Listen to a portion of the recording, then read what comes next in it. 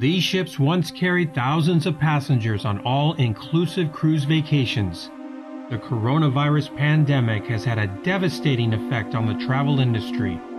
Major cruise lines are scrapping some of their ships in effort to stay afloat. Three Carnival Cruise Line ships are being broken down for their parts, including the Fantasy, Imagination, and Inspiration, all of which were recently sold due to the pandemic. In months past, Carnival announced that they were accelerating the exit of 18 less efficient ships from their fleet. Reports are business at the Turkish dock is booming as thousands of workers dismantle the ships.